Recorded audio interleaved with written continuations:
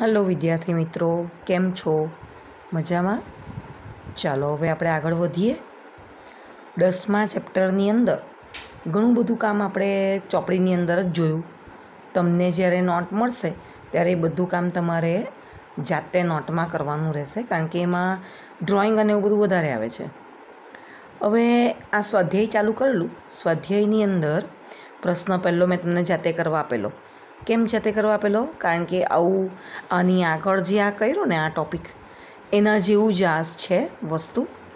અને એમાં બધા રંગ કરવાના છે. પછી ડી અને ઈમાં બે સવાલ છે. બગીચો અને બજાર બેમાંથી પૂર્વ દિશામાં શું આવેલું છે? હવે આમાં એક્ઝેક્ટલી પૂર્વ, પશ્ચિમ, ઉત્તર, દક્ષિણ એવું કશું બતાવ્યું નથી. પણ આપણે એક વસ્તુ ધારી લઈએ કે આમ પૂર્વ છે, આમ પશ્ચિમ છે. ઉત્તર, દક્ષિણ એ પ્રમાણે છે. તો બગીચો અને બજાર એ બંનેમાંથી પૂર્વ દિશામાં બગીચો આવેલો છે અને બજાર અહીંયા છે. એટલે બજાર પશ્ચિમ દિશામાં છે. પછી છેલ્લા સવાલમાં એવું છે, પ્રાથમિક શાળા અને માધ્યમિક શાળામાંથી કયું સ્થળ વધારે દક્ષિણ દિશામાં આવેલું છે? અત્યારે આપણે વાત કરી કે આ પૂર્વ દિશા છે અને આ પશ્ચિમ દિશા છે, તો ઉત્તર અને દક્ષિણ આ થાય. તો દક્ષિણ દિશામાં શું આવેલું? પ્રાથમિક શાળા આવેલી કે માધ્યમિક શાળા? માધ્યમિક શાળા.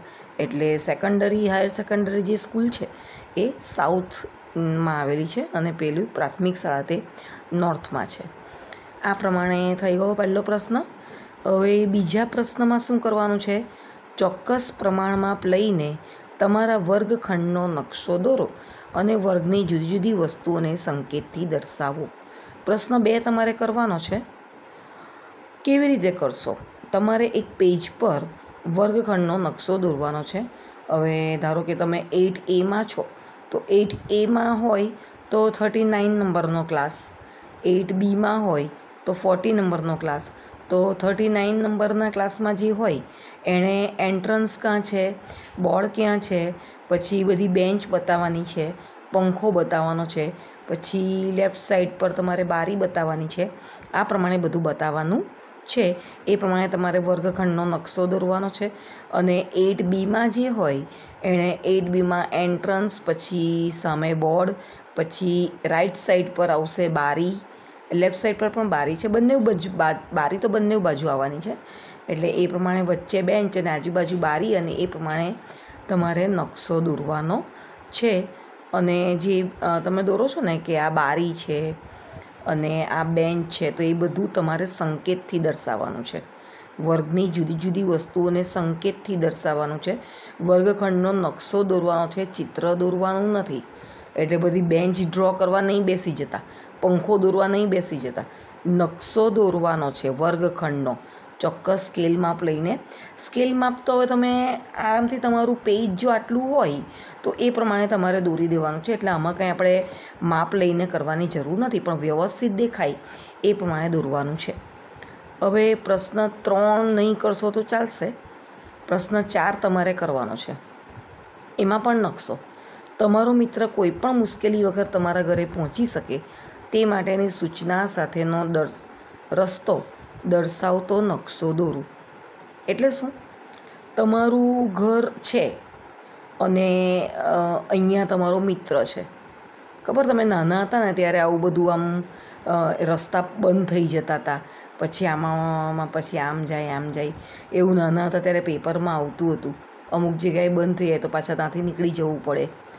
એ પ્રમાણે તમારે નકશો દોરવાનો છે તમારા ઘર સુધી પહોંચવા માટેનો. અહીંયા તમારો ફ્રેન્ડ હોય, અહીંયા તમારું ઘર હોય, તો તમારે એ પ્રમાણે અહીંયા આમ આમ કરતાં નકશો દોરવાનો. અને વચ્ચે વચ્ચે શું આવતું હોય તે પણ તમારે નકશામાં દર્શાવવાનું છે. ખ્યાલ આવશે આ વસ્તુ? ચાલો, એટલે આની અંદર સ્વાધ્યાયની અંદર પ્રશ્ન એક કરવાનો, પ્રશ્ન બે કરવાનો, અને પ્રશ્ન ચાર કરવાનો. પ્રશ્ન ત્રણ કરવાનો નથી. હવે જે અગત્યનું છે એમ તો આખું ચેપ્ટર જ અગત્યનું હોય, પણ એ પેલું ઇઝીલી સમજ પડી જાય એવું હતું. અને આ જરા પહેલાંના કરતાં અઘરું છે. અઘરું કંઈ નથી, આમાં પ્રેક્ટિકલી આપણે જોઈ નથી શકતા એટલે જરાક કોઈકને નહીં ખબર પડે એવું બને. બાકી ઇઝી છે. હવે રમવાનો પાસો તમે લોકોએ જોયો છે. એને મગજમાં લેજો. અથવા તો પેલું મેજિક ક્યુબ ઘણી વખત હું મેજિક ક્યુબની ચર્ચા તમારી સાથે ક્લાસમાં કરતી હોઉં છું. મેજિક ક્યુબ એટલે પેલું રંગ સરખા કરવાનું આવે છે ને, તે મેજિક ક્યુબ આ એ સમઘન છે. અહીંયા પણ આવું એક સમઘન બતાવ્યો છે. એ સમઘન અને આ લંબઘન છે.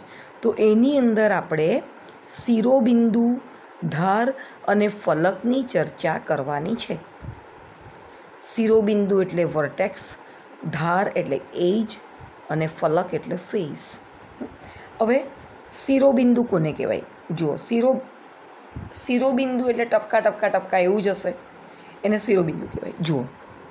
આ જે છે ને, આમ બે ધાર મળતી હોય ને, ત્યાં જે કોર્નર આવે ને કોર્નર, એને શિરોબિંદુ કહેવાય. જો આ શિરોબિંદુ છે, હું તમને બતાવું બોલપેનથી. જુઓ, આ શિરોબિંદુ. આ શિરોબિંદુ આ શિરોબિંદુ, આ પણ શિરોબિંદુ છે. આમ જ્યાં બધી ધાર રેખાખંડો સ્વરૂપે ભેગી મળે છે ને, ત્યાં શિરોબિંદુ બતાવાય છે. આ બધા શિરોબિંદુ છે. શિરોબિંદુ એટલે વર્ટેક્સ. પછી ધાર કોને કહેવાય? મેં હમણાં જ વાત કરી. રેખાખંડ સ્વરૂપે જે છે તે ધાર કહેવાય. કોઈવાર આપણે બેન્ચ પર કે દાદર ચડતા ઉતરતા એમ કે ને, મને ધાર વાગી. તો ધાર એટલે શું? આયરી આ. બરાબર? જે રેખાખંડ દેખાય છે ને, એ ધાર છે. અને ફલક. ફલક એટલે આખી સપાટી. આ ધારો કે આ લંબચોરસ ભાગ ચોરસ ભાગ છે ને, તો આ એક સપાટી છે. આ બાજુની છે તે બીજી સપાટી છે. આ જે છે તે ત્રીજી સપાટી છે. આ બાજુ આવશે એ ચોથી સપાટી છે. આ છે તે નીચેની પાંચમી સપાટી છે અને આ જે આખી છે પાછળની સાઈડ પર એ છઠ્ઠી સપાટી છે. તો સપાટી એટલે કે આખો એક ભાગ તમે મેજિક ક્યુબની અંદર જોઉં છો, જ્યાં તમે કલર સરખા કરો છો. ધારો કે નવે નવ ટીકડી એક સરખા કલરની થઈ ગઈ, હે ને? તો એ જે આખો ભાગ છે તે શું બતાવે છે? સપાટી બતાવે છે. સપાટી એટલે કે ફલક, એટલે કે મુખ ફેસ બરાબર? પછી ધાર ધારને શિરોબિંદુ તો આની અંદર ખબર પડી જાય છે. આ છે ધાર અને ટપકા ટપકા સ્વરૂપે હોય તે. શિરોબિંદુ હોય છે. ચાલો, હવે આગળ જોઈએ.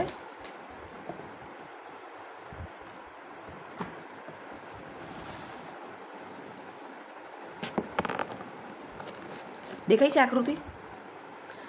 ઉપરોક્ત તમામ ઘન બહુકોણના જોડાણથી તૈયાર થયેલ છે. આ અલગ અલગ વસ્તુ આપી છે તમને. પેપર વેટ જેવું છે, આ પિરામિડ પ્રિઝમ જેવું છે, હે ને? આ દરેકે દરેક વસ્તુ ઘન બહુકોણના જોડાણથી તૈયાર થયેલી છે. ઘન અને બહુકોણ. બહુકોણ એટલે એવી વસ્તુ કે જેની અંદર ઘણા બધા ખૂણા આવેલા હોય, તો એને બહુકોણ કહેવાય. બહુકોણથી ઘેરાતા સમતલીય ભાગને ફલક કહેવાય.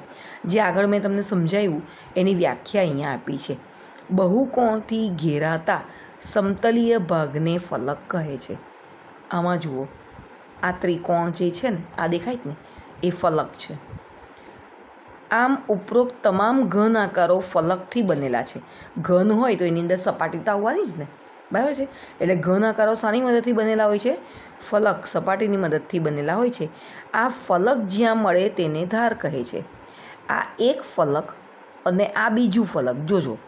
આ ત્રિકોણ આકારનું એક ફલક છે અને આ ત્રિકોણ આકારનું બીજું ફલક છે. તો આ બે ફલક જ્યાં ભેગા થાય છે, ત્યાં શું બને છે? ધાર બને છે. આને શું કહેવાય? ધાર કહેવાય.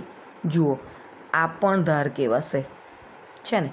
પછી આ ત્રિકોણાકાર અને એની પાછળનો, આ દ્વિપરિમાણીય છે એટલે તમને સમજવામાં તકલીફ પડે. પણ આ જે ત્રિકોણ ભાગ છે તમારી સામે દેખાય છે. પણ આની પાછળ પણ એક ત્રિકોણાકાર ભાગ છે. તો એ પણ સપાટી થઈ, આ પણ સપાટી થઈ. તો આને શું કહેવાય? ધાર કહેવાય. આમ આ ફલક જ્યાં મળે તેને ધાર કહેવાય છે. આ ધાર કયા સ્વરૂપે આવેલી હોય છે? રેખાખંડ સ્વરૂપે આવેલી હોય છે અને આ ધાર જ્યાં મળે એને શિરોબિંદુ તરીકે ઓળખવામાં આવે છે. આ એક, બે, ત્રણ, ચાર, પાંચ. આ પ્રમાણે જ્યાં ધાર ભેગી મળતી હોય ત્યાં શું આવે? શિરોબિંદુ આવે. આ શિરોબિંદુ બિંદુ સ્વરૂપે હોય છે. આમ આવા ઘનને બહુફલક કહેવામાં આવે. બહુફલક એટલે ઘણી બધી સપાટીઓ હોય તે. જુઓ, હવે લેફ્ટ સાઈડ પર જે છે, આ, એ બહુફલકો છે અને આ બહુફલકો નથી. તો ટીચર, આવું કેમ? આને બહુ ફલક કહેવાય તો આને બહુ ફલક કેમ નહીં કહેવાય? આમાં પણ શિરોબિંદુ છે, આમાં પણ ધાર છે, આમાં પણ સપાટી છે. એવું નથી. આની અંદર નથી જ, સપાટી નથી, શિરોબિંદુ નથી, ધાર નથી. આમાં સપાટી છે ને, તે વક્રીય સપાટી છે. જુઓ, આ પણ નળાકાર તમને આમ દેખાય. પણ કેવો ગોળાકાર સ્વરૂપે આપેલું હોય ને, ધારો કે પાવડરનો ડબ્બો અને પેલું પાણી ભરવાનું પીપ ને એવું બધું હોય, તો એમાં કેવું ગોળાકાર સ્વરૂપે આપેલું હોય. જ્યારે આની અંદર સપાટી આપેલી હોય, ધાર આપેલી હોય છે. એટલે આ બહુ ફલકો છે, જ્યારે આ બહુ ફલકો નથી. આ બંને કેવી રીતે એકબીજાથી જુદા પડે છે તે જુઓ. બહુફલક હોય અને બહુફલક ન હોય, તેવા ઘન આકારો કઈ રીતે એકબીજાથી જુદા પડે તે સમજવા માટે આપણે આકૃતિને જોવી પડે. તમે જોઈ શકશો કે જે બહુફલકો નથી, એ ઘન આકારમાં વક્ર સપાટી આવેલી છે. આમાં તો જો, છે ને, વક્ર સપાટી. આમાં પણ નીચે વક્ર સપાટી છે ને? વક્ર સપાટી આવેલી છે. જ્યારે જે બહુ ફલકો છે, એમાં માત્ર સમતલ ભાગ જ આવે છે. સમતલ એટલે સપાટ, જુઓ. છે ને? આ. એમાં ફક્ત સમતલ ભાગ જ આવે છે, વક્રીય સપાટી આવતી નથી. એટલે જેમાં વક્રીય સપાટી હોય તે બહુ ફલકો કહેવાશે નહીં. ચાલો, હવે નીચે જુઓ. ગોલક. તો એમાં પણ વક્ર સપાટી છે, એટલે એ પણ બહુ ફલક નથી. શંકુ, એમાં પણ વક્ર સપાટી આવે છે, પાયો પણ એનો જુઓ. એમાં આ જે છે તે પણ વક્ર સપાટી છે. નળાકાર, આ ત્રણે ત્રણ શું છે? સામાન્ય ઘન જે છે, એ બહુ ફલક નથી. વક્ર સપાટી છે, એટલા માટે. બહિવૃત બહુફલક આ બહિવૃત બહુફલક એટલે શું? તમને ત્રીજું ચેપ્ટર જ્યારે ચાલતું હતું ને પેલું ચતુષ્કોણવાળું, હે ને? તો તેની અંદર અંતર્મુખ ચતુષ્કોણ અને બહિર્મુખ ચતુષ્કોણ એવું આપણે ભણી ગયેલા, યાદ આવ્યું. તો બહિર્મુખ ચતુષ્કોણ કે, કોને કહેવાય? હું યાદ કરાવું છું એકવાર કે જે ચતુષ્કોણમાં તેના વિકર્ણો અંદરના ભાગમાં આવેલા હોય ને, તેને બહિવૃત બહિર્મુખ ચતુષ્કોણ કહેવાય. અને આવું ખાંચા ખાંચાવાળું હોય ને, તો તેને અંતર્મુખ ચતુષ્કોણ કહેવાય. યાદ આવ્યું? બસ તો બહુફલકમાં પણ આવું જ છે. જુઓ, આ બહિવૃત બહુફલક છે. આમાં કોઈ પણ જાતના ખાંચા નથી આવેલા. છે ને? એટલે વિકર્ણનો દોરો, તો એ વિકર્ણ તમને એની અંદર જ દેખાય અને આની અંદર અંદર ઘૂસી જાય છે. ખાંચો પડેલો છે. જુઓ. છે ને? એટલે આ બહિવૃત બહુફલક નથી. બરાબર છે? ચાલો, હવે આગળ જોઈએ. આ બધાની થિયરીને બધું જે હું તમને નોંધ લખવા માટે આપીશ, એ તમારે બરાબર યાદ રાખવી પડશે. જો આ પચીસ માર્કની પરીક્ષામાં મેડમ ચેપ્ટર વધારે લેવાનું કહે, તો પછી આ ચેપ્ટર પણ તમારે આ પચીસ માર્ક માટે તૈયાર કરવું પડશે. એટલે એની સાથે તમારા ત્રણ ચેપ્ટર થશે, ધ્યાન રાખજો. આ દસમું ચેપ્ટર, નવમું ચેપ્ટર અને આઠમું ચેપ્ટર. એટલે સિલેબસ તો હું તમને પાછળથી કન્ફર્મ કહી દઈશ. અત્યારે ફક્ત ભણવાનું કામ કરો. સામાન્ય બહુફલક. જ્યારે બહુફલકના દરેક ફલક સામાન્ય ફલક હોય, સામાન્ય ફલક હું સમજાવું છું, અને તેના દરેક શિરોબિંદુ પર સરખી સંખ્યાના ફલક મળતા હોય, આ એક વસ્તુ ખાસ ધ્યાન રાખવાની છે. સરખી સંખ્યાના ફલક, સરખી સંખ્યાના ફલક મળતા હોય ત્યારે તેને સામાન્ય બહુફલક કહેવામાં આવે છે રેગ્યુલર હવે આ શું? સરખી સંખ્યામાં ફલક મળતા હોય એટલે શું? દરેકે દરેક શિરોબિંદુ ચેક કરવાનું ને પાછા શિરોબિંદુની ઉપરથી સરખી સંખ્યામાં ફલક એટલે કે સપાટી મળતી હોય તો એ સામાન્ય બહુફલક કહેવાય. જોઈએ હવે આકૃતિની અંદર હું તમને વધારે સમજાવું. થિયરી કરતાં આકૃતિ જુઓ ને એટલે વધારે ખ્યાલ આવે. આ સામાન્ય બહુફલક છે, આ. અને આ સામાન્ય બહુફલક નથી. તો કેમ છે અને કેમ નથી તે વસ્તુ આપણે જોઈએ. સામાન્ય બહુ ફલક છે તેના દરેક ફલક એકરૂપ છે. એકરૂપ છે એટલે શું? સરખા. જો ચોરસ છે. ચોરસ. દરેકે દરેક એની સપાટી કેવી છે? ચોરસ છે. સરખી છે. સામાન્ય બહુકોણ છે તેના શિરોબિંદુ પર સરખી સંખ્યામાં ફલક છે. હવે હું તમને આ સમજાવું. જોજો, બરાબર આકૃતિમાં ધ્યાન આપજો. આ શિરોબિંદુ છે ને, આ, એની પર કેટલા ફલક દેખાય છે તમને? કેટલી સપાટી એની પર જાય છે? જુઓ, હું ખાલી ધાર જ ગણી લઉં. આ એક, આ બે, આ ત્રણ. એટલે કે આ શિરોબિંદુ પર ત્રણ છે? હવે આપણે અહીંયા ચર્ચા કરીએ, અહીંયા. આની પર કેટલા જાય છે? જુઓ. એક, બે, ત્રણ. છે ને, આ પાછળ જાય છે ને, એટલે અહીંયા પણ ત્રણ. હવે કોની ચર્ચા કરીએ? અહીંયા અહીંયા, આ જોઈએ, આ બિંદુ. જો, આ એક, આ બે, આ ત્રણ, એટલે અહીંયા પણ ત્રણ આવ્યા તો અહીંયા આ એક, આ બે, આ ત્રણ. હવે તમને ધીરે ધીરે સમજાશે કે તેના શિરોબિંદુ પર સરખી સંખ્યામાં ફલક મળે છે. એટલે આ જે બહુફલક છે, એ સામાન્ય બહુફલક કહેવાશે. ખ્યાલ આવી ગયો હવે આ વસ્તુ સમજ પડી ગઈ બરાબર? સામાન્ય બહુફલક કોને કહેવાય તે ખ્યાલ આવી ગયો ને તમને લોકોને? એટલે આકૃતિ જુઓ એટલે વધારે ખ્યાલ આવે. હવે આમાં શું છે? કેમ સામાન્ય બહુફલક નથી? તો એવું કીધું કે ભાઈ બધી બાજુઓ એકરૂપ તો છે, પણ દરેક શિરોબિંદુ પાસે સરખી સંખ્યામાં ફલક ભેગા થતા નથી. જોઈ લઈએ. એ બિંદુ આગળ ત્રણ ફલક મળે છે. જોઈએ. આ એ બિંદુ છે ને, ત્યાં ત્રણ ફલક મળે છે. આ એક, આ બે ને આ ત્રણ. ઓકે એ બિંદુ પર ત્રણ ફલક મળે છે. અને બી બિંદુ આગળ ચાર, એવું કેવું? જોઈ લઈએ. આ બી બિંદુ છે. બી બિંદુ પરથી આ એક, આ બે આ ત્રણ અને આ ચાર. બરાબર છે? ચોપડીવાળાની વાત બરાબર છે. શું બરાબર છે? એ બિંદુ આગળ ત્રણ ફલક મળે છે અને બી બિંદુ આગળ ચાર ફલક મળે છે એટલે આ સામાન્ય બહુકોણ નથી. ક્યાં એ પર પણ ચાર મળવા જોઈતા હતા, તો એ અને બી પર ચાર ચાર થઈ જાય તો એ સામાન્ય બહુફલક કહેવાતે.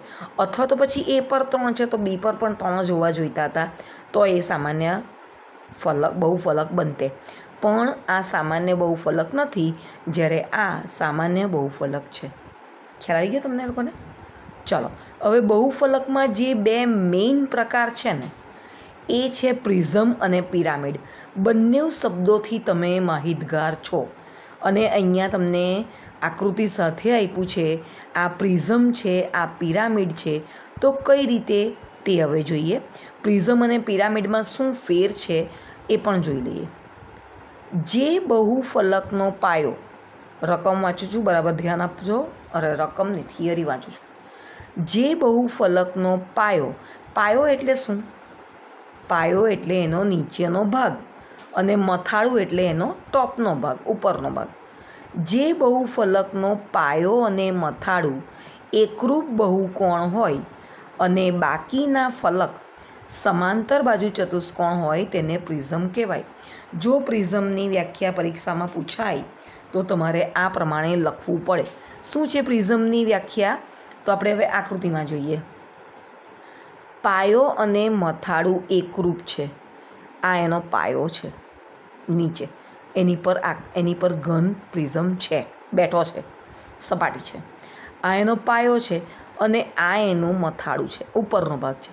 તો જુઓ પાયો અને મથાળું એકરૂપ છે કે નાનું મોટું છે? નીચેનું મોટું છે ને ઉપરનું નાનું છે એવું છે? અથવા તો ઉપરનું મોટું છે ને નીચેનું નાનું છે એવું છે? એવું નથી. ઉપર અને નીચે એ બંને એકરૂપ છે. અને બાકીના ફલક સમાંતર બાજુ ચતુષ્કોણ છે. હવે આને માટે પાછું સમાંતર બાજુ ચતુષ્કોણની વ્યાખ્યા યાદ કરવી પડે. હે ને? સમાંતર બાજુ ચતુષ્કોણ એટલે એવો ચતુષ્કોણ કે જેની અંદર સમસમયની બાજુઓ કેવી હોય, સમાંતર હોય, છેદતી નહીં હોય, એને સમાંતર બાજુ ચતુષ્કોણ કહેવાય છે. ખ્યાલ આવે છે? તો આની અંદર તમે જુઓ, આ પાયોને મથાળું છોડી દો. તો આ બાજુ અને એની પાછળની, એટલે કે આ બાજુ. પાછળની બાજુ છે તે. એટલે આ બે બાજુઓ કેવી છે? સમાંતર બાજુ ચતુષ્કોણ. ને તેવી જ આ બાજુ અને આ બાજુની બાજુ. હે ને? એટલે આ કેવું છે? સમાંતર બાજુ ચતુષ્કોણ છે, એટલે એને શું કહેવાય? પ્રિઝમ કહેવાય. તો પણ પિરામિડમાં આવું નથી બનતું. પિરામિડમાં શું બને છે? પિરામિડની વ્યાખ્યા જોઈએ કે કોઈ પણ સંખ્યાની બાજુવાળો બહુકોણ પાયા તરીકે હોય છે. પાયા તરીકે શું હોય છે? એનો પાયો કોઈ પણ સંખ્યાની બાજુવાળો બહુકોણ હોય. ત્રિકોણ પણ હોઈ શકે ના. ત્રિકોણ હોઈ શકે? જોઈએ આગળ. ચાર હોય તો ચોરસ હોય. હમ ત્રિકોણ પણ હોય. ચાર બાજુ હોય, પાંચ બાજુ હોય, છ બાજુ હોય, એવી કોઈ પણ બાજુવાળો એનો પાયો બની શકે છે. અને પાયાની દરેક બાજુમાંથી શરૂ થતા ફલકો ત્રિકોણ આકારના હોય છે. જો આ એક બાજુ છે. એ બાજુમાંથી સપાટી, ધાર ઉપર ભેગું થાય છે. ક્યાં? એક જ શિરોબિંદુ પર ભેગું થાય છે. પાયાની દરેક બાજુમાંથી શરૂ થતા ફલકો આ પાયો છે, એમાંથી આ એક સપાટી નીકળી. આ પાયો છે, એમાંથી પણ એક સપાટી નીકળી. હવે બે બાજુ આની પાછળ છે. તો એમાંથી જે સપાટી નીકળે છે, એ સપાટી કેવી હોય? ઉપર એક શિરોબિંદુ આગળ મળતી હોય છે. એ ત્રિકોણાકાર જે સપાટી હોય, તે એક જ શિરોબિંદુમાં ભેગી મળતી હોય છે. ખ્યાલ આવે છે આ વસ્તુ? આ પિરામિડ છે. એમાં નીચેનો પાયો જે હોય, એ કોઈ પણ, લખ્યું ને, કોઈ પણ સંખ્યાની બાજુવાળો હોય. એકવાળો એકવાળો તો ક્યાંથી હોવાનો? ત્રણ, ચાર, પાંચ, છ, એવું. પ્રિઝમ અને પિરામિડ કેવી રીતે ઓળખાય, તેના પાયા પરથી ઓળખાઈ જાય. આ એક વસ્તુ યાદ રાખવાની. ષટકોણીય પ્રિઝમનો પાયો ષટકોણથી બનેલો હોય. આ પ્રિઝમનું, આ ખાલી ઉદાહરણ આપું છું. આ એક પ્રિઝમ છે. પ્રિઝમનો પાયો ષટકોણ ષટકોણ છે. છ બાજુવાળો છે. તો એ પ્રિઝમનું નામ શું થાય? ષટકોણીય પ્રિઝમ. ષટકોણીય પ્રિઝમનો પાયો ષટકોણથી બનેલો હોય છે અને ત્રિકોણીય પિરામિડનો પાયો ત્રિકોણ હોય છે. આ પિરામિડ છે ને? એમાં જો એનો પાયો ત્રિકોણ હોય, તો એનું નામ શું કહેવાય? ત્રિકોણીય પિરામિડ કહેવાય. બરાબર? શું લંબચોરી, લંબચોરસીય પ્રિઝમ હોય? હા, વળી હોય જ ને. પ્રિઝમમાં ચાર બાજુવાળો નીચેનો પાયો હોઈ શકે. અને ચોરસીય પિરામિડ કેવો હોય? હા, તો ચોરસીય પિરામિડમાં એનો બેઝ, એનો એનો પાયો કેવો હોવાનો? ચોરસ હોવાનો. સ્પષ્ટ છે કે તેના પાયા અનુક્રમે લંબચોરસ અને ચોરસ હોય. લંબચોરસીય પ્રિઝમ જો હોય, તો એનો પાયો લંબચોરસ હોય અને ચોરસીય પિરામિડ હોય, તો એનો પાયો ચોરસ હોય. એટલે આ વાક્ય તમને હવે ખબર પડી કે પ્રિઝમ અને પિરામિડ એ તેના પાયા પરથી ઓળખાઈ જાય છે. ખ્યાલ આવે છે? તો આ બધી વસ્તુ થિયરી છે તમારે યાદ રાખવાની. હવે આ એક પ્રવૃત્તિ છે. આટલું કરો. આટલું કરોની અંદર આ જે પણ વસ્તુ આપી છે ને, એ વસ્તુમાં તમારે ધાર, શિરોબિંદુ, અરે આ તો સપાટી છે. એફ એટલે ફલક ફેઝ સપાટી, શિરોબિંદુ અને ધાર. એની સંખ્યા ગણવાની એના પરથી કાઉન્ટિંગ કરવાનું છે. F plus V E plus two આ પ્રમાણે કાઉન્ટિંગ કરવાની છે. આ બધી વસ્તુઓ છે. તો આ હું તમને બીજા વિડીયોમાં બતાવીશ. ઓકે? ચલો, આજે આટલું જ. ફરીથી ફરીથી આ બધે વીડિયો જોજો. આગળ મેં તમને જ્યારે એક બહારનો વીડિયો બતાવેલો ને, તે તો આના કરતાં પણ ફાઇન હોય. કારણ કે ત્રિપરિમાણીય બેઝ પર હોય ને, એટલા માટે થ્રીડી હોય એટલા માટે. તો એ વીડિયો પણ તમારે જોવાનો, વારે ઘડીએ. જોઈએ તો વધારે ખ્યાલ આવે. બરાબર ને? ચાલો, તો પેલું જે પ્રવૃત્તિ છે એ હું તમને કાલે કરાવીશ અને છેલ્લું સ્વાધ્યાય છે એ પણ હું તમને કરાવી દઈશ. ઓકે? Bye bye.